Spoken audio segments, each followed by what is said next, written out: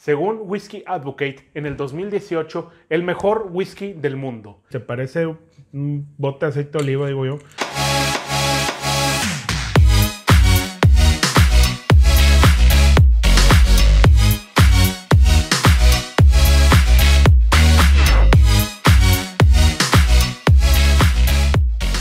Bienvenidos a Destilados, donde el alcohol nos une. El día de hoy les traemos, bueno, les traigo porque Juan Carlos no está.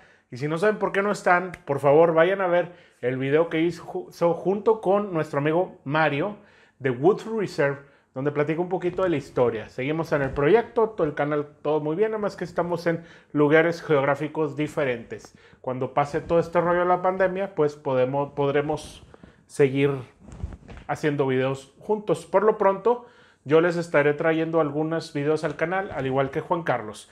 Y pues bueno, vamos a lo que nos, lo que nos importa el día de hoy. Es el primer video que traemos al canal de whisky japonés. Exactamente. Y no cualquier whisky japonés. Según Whisky Advocate, en el 2018, el mejor whisky del mundo. Y digo según porque es según el criterio de ellos. Pero todos podemos tener opiniones distintas. Pero vaya, esas sí, sí que son credenciales.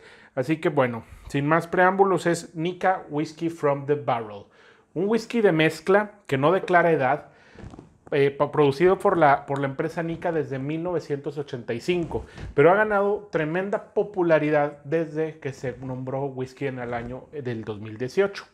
Cabe destacar que esta botella no se encuentra en el mercado mexicano, Desconozco exactamente en qué países, pero por lo que sé es en Estados Unidos, si se encuentra regularmente, tiene un costo aproximado de 60 dólares. Y le quiero dar muchas gracias a mi amigo Bernardo, whisky aficionado, que me hizo el favor de comprármela en Houston y me le dio un ride para acá.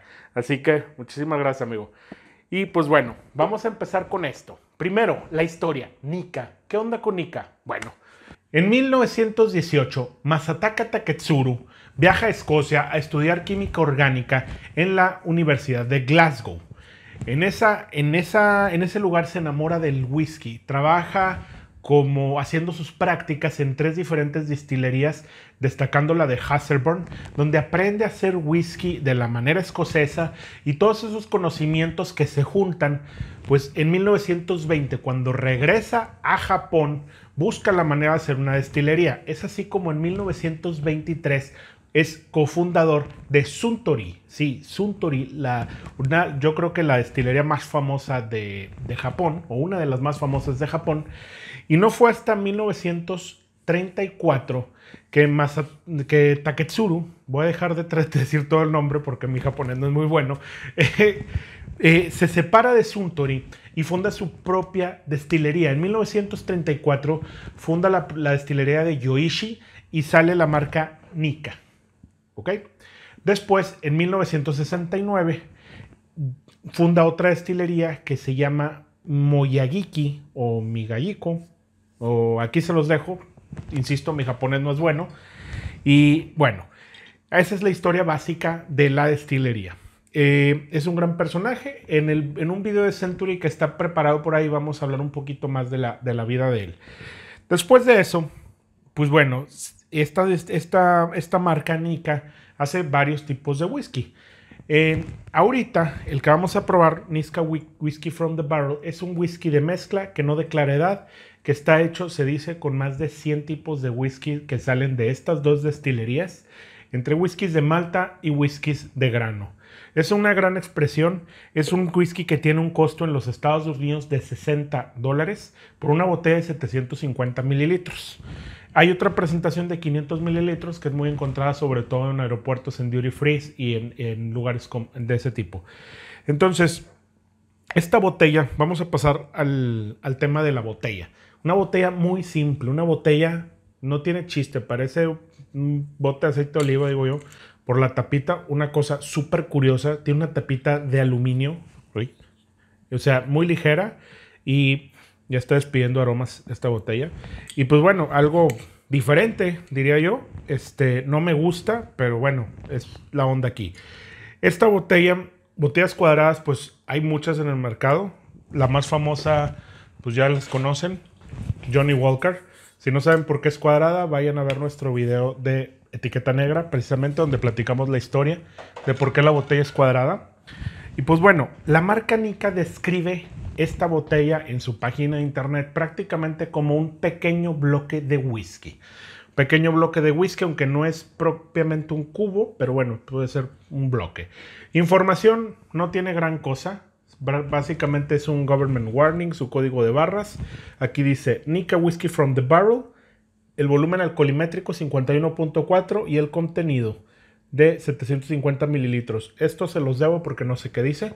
Y eh, nada más, no declara nada, nada más en la etiqueta. Algo muy simple, muy minimalista. Y pues vamos a pasar a servirlo.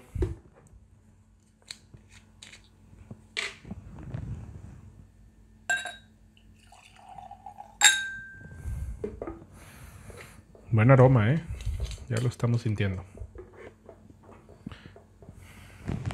Color es un color cobrizo claro. Desconozco si tiene colorantes artificiales o es un color 100% natural. Un aroma muy floral, potente. No potente en cuanto al alcohol, sino despide mucho, mucho aroma. Muy simple eh, olerlo. Es un whisky muy franco, muy franco, no está muy es muy sencillo. Básicamente traemos cítricos, dulces, una mezcla de frutas, flores. Traemos caramelo. Sí me gusta, mucho me gusta. Yo puedo decir que esto es una mezcla de barricas, probablemente inclusive tienen diferentes tipos de barricas. Pero domina muchísimo el cítrico, domina mucho el caramelo. Más como a... Como cáscara de naranja. Algo de vainilla. El aroma muy agradable. No se siente esos 51.4 grados de alcohol. No se sienten potentes el nivel de alcohol. Está muy bien equilibrado, muy bien balanceado. Y un whisky franco, no, no tiene muchas, muchas capas. Vamos a pasar a probarlo. Salud.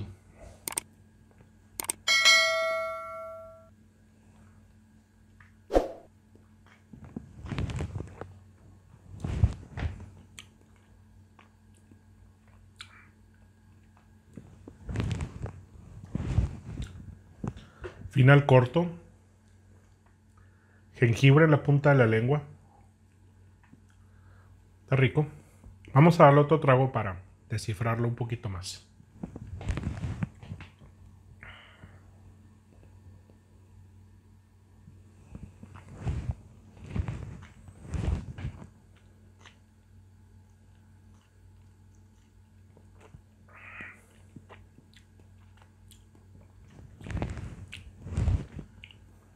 Muy rico. Mira, básicamente en boca te llena ese sabor cítrico. Imagínense, no sé si han hecho, por ejemplo, un cóctel, un old fashioned, un boulevardier, que pelan la cáscara de la naranja, pero solamente la parte externa de la cáscara, no, no, no toda la cáscara porque hay una parte amarga, esa parte externa que luego exprimen ese, esos aceites de la naranja, prácticamente ese es el sabor. Es, riquísimo, es, es muy rico, ese es el sabor que domina. Pero imagínenselo también con si agarras uno de los gajos de esa naranja y lo bañas de caramelo y le das una mordida a esa naranja bañada en caramelo es, un práctico, creo que así es como lo puedo explicar. A lo mejor es un poco fuera de lo común mi explicación o mi nota de, de cata, pero es lo que se me viene a la mente y creo que es delicioso. Aunado a eso, imagínense después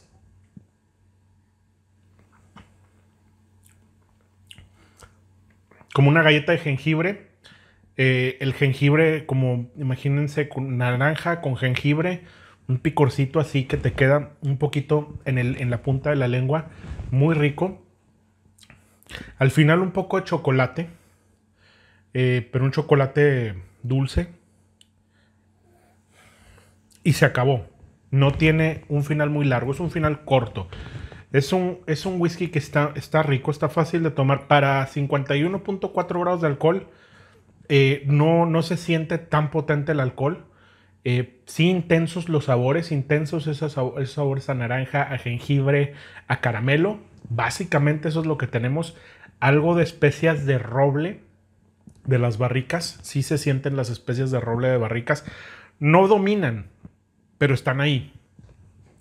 Y ya, no tenemos más, no, no, no tengo más sabores. Creo que eso es suficiente y es suficiente para hacer un whisky muy rico. 60 dólares, creo que sí los vale, vale la pena probarlo. Si logran conseguirlo, por favor, pruébenlo, está, está rico. Eh, si les hace sentido la descripción que les estoy dando.